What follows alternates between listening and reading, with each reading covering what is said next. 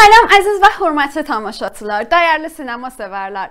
Bir daha yeni dalqa verişi ilə birlikdəyik.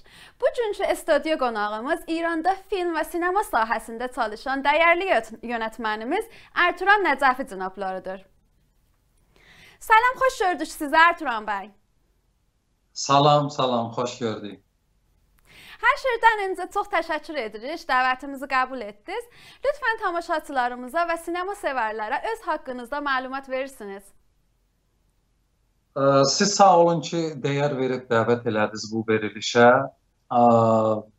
Sadəcə bunu deyim ki, 1980-ci ildə Qoşaçay şəhərində təhrif olunmuş adını desək, Miyandaqda doğulmuşam.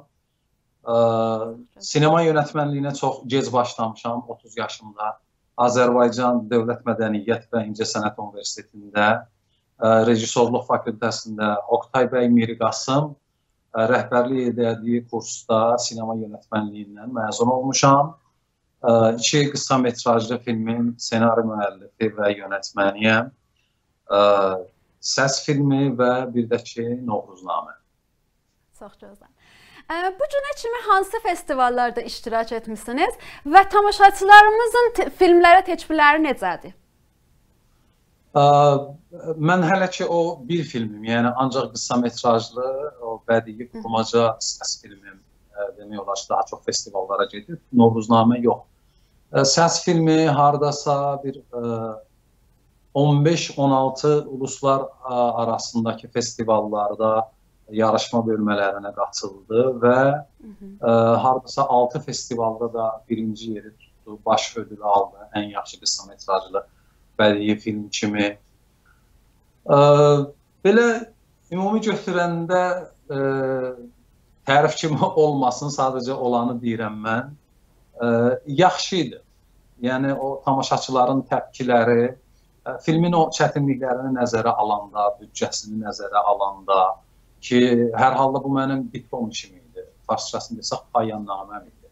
Öyrənci e, danışıqlı bir iş idi və bu tip Hı -hı. işlərin demək olar ki, büdcələri heç belə olmur, çox aşağı olur və e, çəkiliş prosesində də o texniki çatışmazlıqlara görə çətinliklərimiz çox-çox olur deyə e, o çətinlikləri yəni nəzərə alanda amma artıq festivallara gedib tamaşaçılar filmə baxıb verdikləri təpki idi e, bu baxımdan yəni məsələyə yanaşanda hə məni çox razı saldı.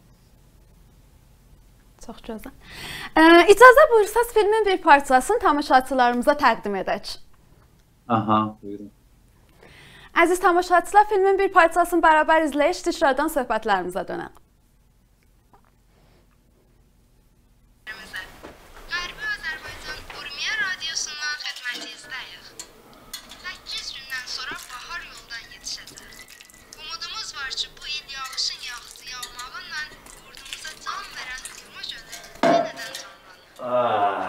Rəhmətliyim qızı, sənə rəsulum olmuş. Yəni qoymayacaq, 5 dəqiqələ haqqı verirəm. Hmm.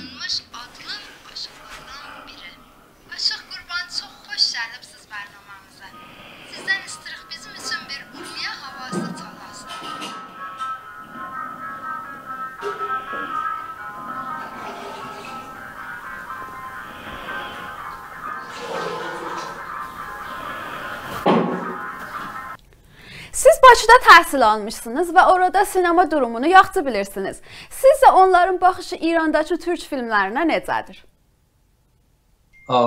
Birinci sualı belə cavablandırım ki, Sovyetlər Birliyi dağılandan sonra, ə, yəni İranda İttihadi Cəmahiри Şurəvi deyirlər. O Bəli. yaranan iqtisadi və siyasi durumlardan dolayı ə, Azərbaycan sinemasında demək olar ki, hardasa bir 10 il durğunluq oldu. Ə, yəni tətil oldu demək və təbii ki, mütəxəssislər, ə, e, başarılı adamların çoxusu ölkədən ə, e, köçmək məcburiyyətində qaldılar və qalanlar da təbii ki, praktikaları olmur deyə istər-istəməz bunlar hamısı gətirir ə, e, sinemanı zəiflədir. Ondan sonra yenidən dikəlməyə başladılar. Və mütəxəssislərin çoxusu ölkədən çıxıb getmişdi deyə daha çox qeyri-mütəxəssis adamlar qalmışdı və onlar daha çox sinemanın ə, idarəçiliyinə keçdilər. Bu da təbii ki, gətirib ə, ə, sinemanı o qədər də belə yaxşı yönləndirə bilmədilər deyə bunlar da hamısı nədən oldu ki, Azərbaycan kinosunda ümumiyyətlə hardasa bəlkə bir 20 neçə il durğunluq yarandı. Amma son zamanlar ə, digital sisteminin ucuzlaşması, yeni nəsil gənclərin bu ə, sənətə qatılmaqları yeni bir nəfəs, yeni bir boya gətirdi və ə, artıq son bu 3-4 ildə də əgər araşdırsanız görərsiniz ki, Azərbaycanın bir çox filmləri A kateqori festivallarda çox yaxşı uğurlar qazanır və bundan sonra daha da çox ə, gözəl filmlərin şahidi olacaq. Ə, o ki dalda İranda çəkilən türk filmlərə olan münasibətləri ə, bizim o filmlərə o qədər güclü reklam yoxdur deyə o qədər də tanınmır. Madam bu iki mənim kimi birisi və yaxud başqası orada çəkilən uğur qazanan filmlərin linklərini dostlara göndərək, onlar baxsınlar. Ə, və ancaq bu yolla tanış olurlar. Təbii ki, çox böyük maraqları var, böyük istəkləri var bu filmləri görsünlər. Ə, Azərbaycan türkçəsində Azərbaycan Cümhuriyyətinin ə, sınır dışında çəkilən filmlər istər-istəməz hamının ilgisini çəkir. Ə, amma hələ ki daha çox o ə, İran sinemasının o belə deyək ağıllarda qalan hegemoniyası ə, hələ ki yazıqlar olsun bizim İranda çəkilən türk sinemamızı örtbasdır etmiş durumdadır və bir daha mən vurğulamaq istəyirəm bunun da sadəcə olaraq bir nədəni var ki, İranda çəkilən türk filmlərinin reklamı genəlliklə çox zəifdir. Düzdür. Siz Urmuda olanda teatr oyuncusu və fotoqrafçılığa məşğuldunuz. Necə oldu yönetmenliğe qərar verdiniz? Ə, açığı mən o vaxt hələ heç e, yönetmenliyə o qədər də həvəsim, istəyim, marağım yox idi. Sadəcə olaraq o vaxtlar, yəni hardasa danışıram sizə bir 12-13 e, il bundan qabaq. Milli fəalların çoxusu demək olar ki, ancaq şeir və ədəbiyyat sahəsində çalışırdılar.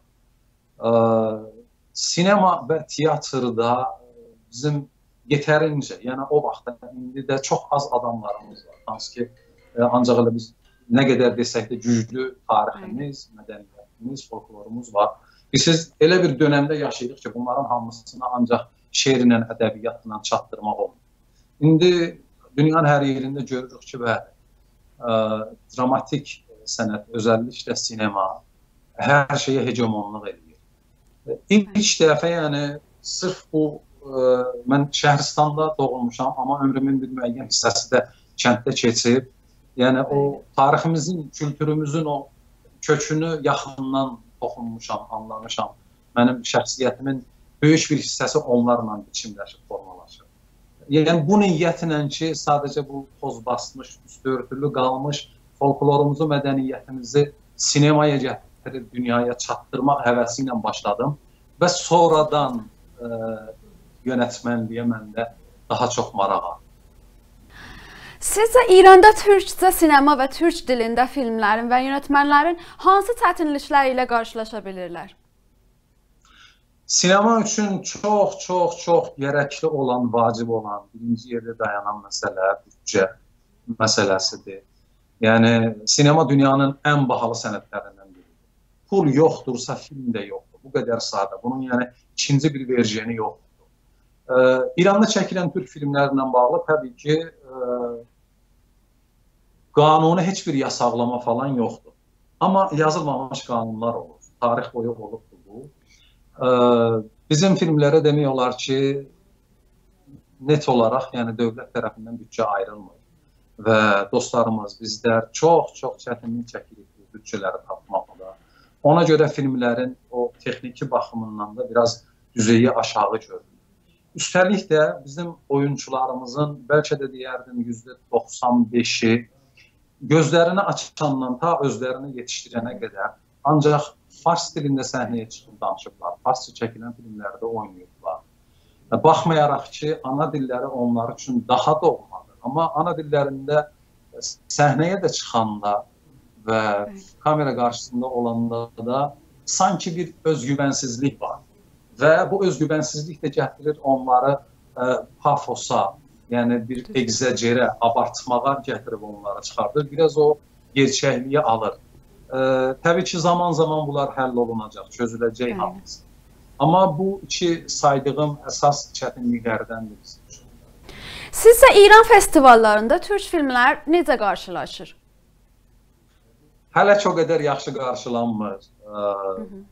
Deyim, maraq vardı filmlərə baxsınlar, amma ə, hələ ki ə, fars vətəndaşlarımızın ə, çox zorlarına gedir ki, İranda, Tehranda oturub Azərbaycan türkçəsində farsça alt yazı ilə filmlərə baxsınlar.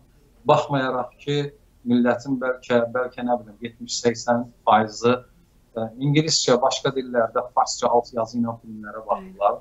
Amma sıra bizim filmlərə gələndə ə, o qədər də yaxşı təpki göstərmir. Və təbii ki, bunların hamısı da gətirib bu yerə çıxardır ki, ə, ümumilikdə bizim filmləri də ə, o qədər reklam eləmir. Düzdür. İzninizlə səs filmin bir parçasını birlikdə izləyək, təkrardan söhbətlərimizə dönək. Əziz tamaşaçılar, səs filmin bir parçasını bərabər izləyək, təkrardan dönək.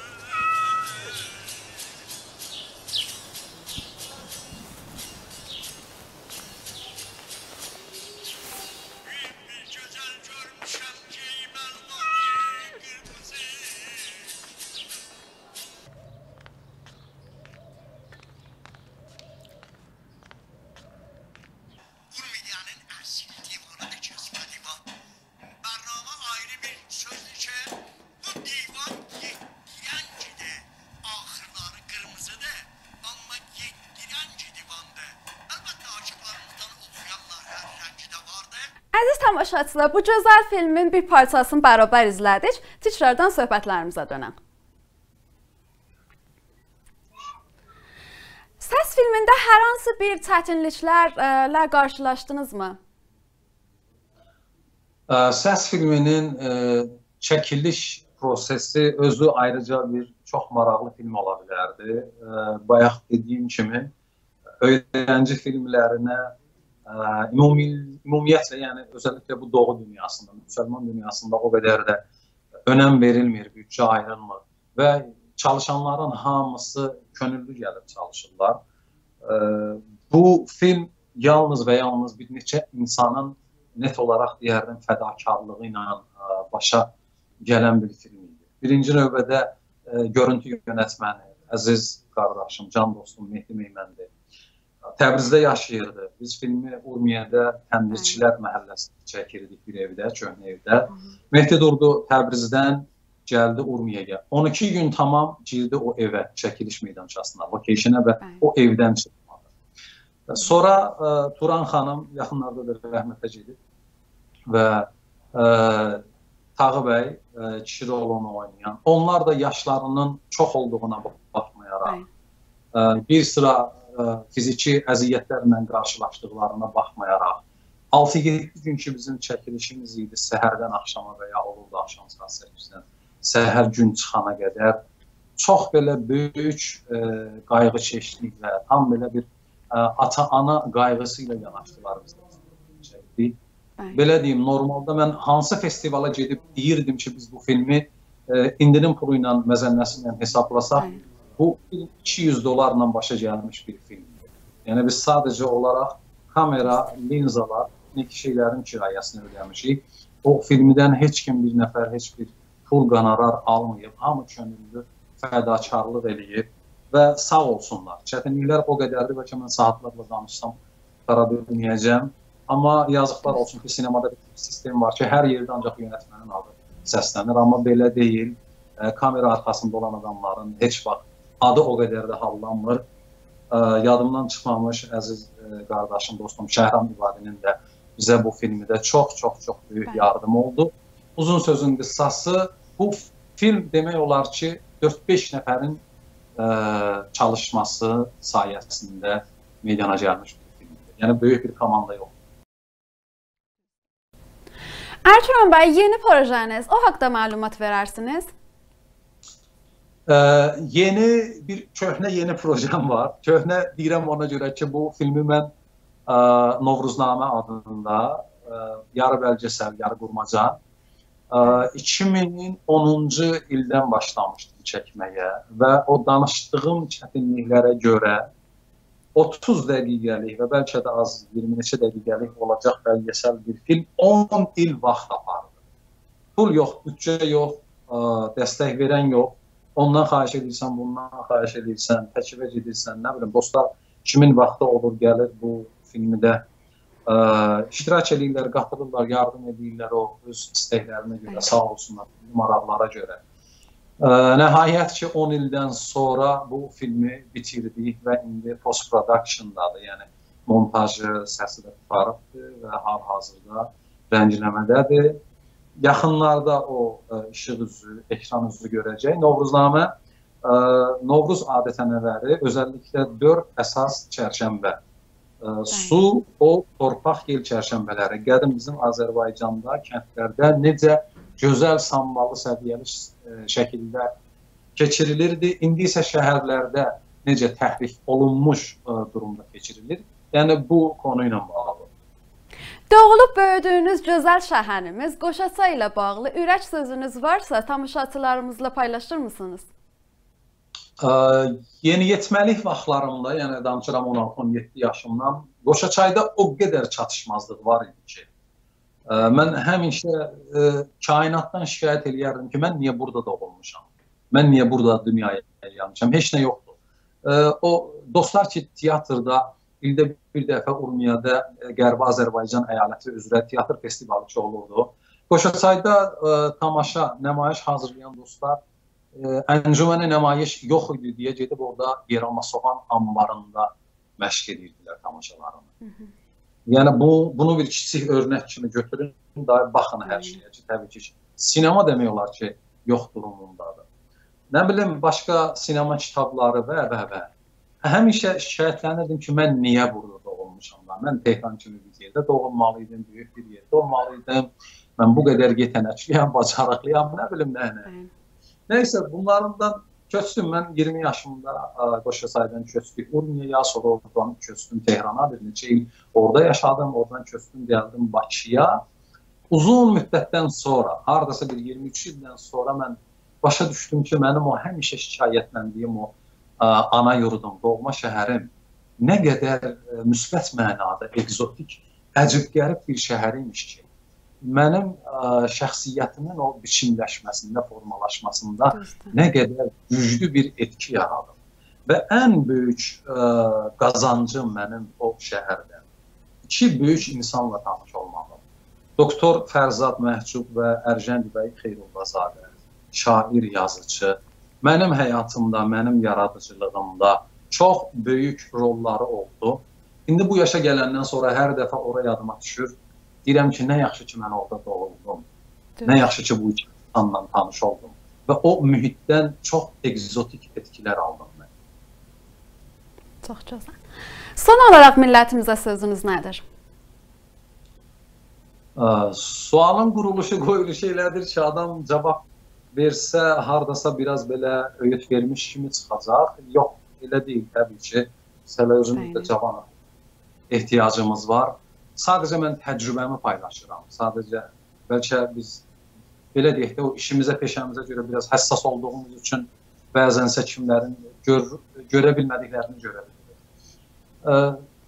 Elə bir dönəmdə, elə bir çağda yaşayırıq ki, artıq tam olaraq bilgi, informasiya bombardmanının altındayıq səhər göz açandan ta gecə başını yerə qoyana nə qədər ki öz canımızı, bədənimizi fiziki baxımdan qoruyuruq, beynimizi, zehnimizi də o qədər qoruyaq ki, ə, gərəksiz ə, beynimizə, şəxsiyyətimizə o zəhərli materialları çox beynimizə yerləşdirməyək. Qabağımıza çıxan hər görüntüyə baxmayaq, qabağımıza çıxan hər bir şeyi oxumayaq hansı ki bizim o tarixi, mədəni folklor baxımından arxalanıb söykənib ə, e, ondan mənəvi, zehni baxımından qidalana biləcəyimiz o qədər güclü bir ə, potansiyelimiz, mədəniyyətimiz var ki, heç başqa o ə, qıraqdan gələn şeylərə də ehtiyac yoxdur. Bu o demək deyil ki, biz özümüzü bir dar çərçivəyə salıb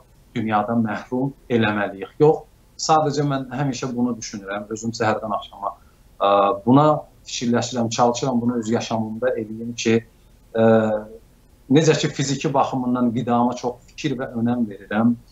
Fikir və zehni baxımından da o qədər önəm verirəm ki, qıraqdan gələn artıq informasiyalar zəhərləməsin. Çox sağ olun Ertuğrul bəy. E, Tekrardan çox təşəkkür edirik bizə qatıldığınız üçün. Çox faydalandıq. Siz sağ olun. Bir daha mən təşəkkür edirəm. Dəyər verib bu verilişə çağırdığınız üçün. Uğurlar. Siz Allaha tapşırıram. Var olun.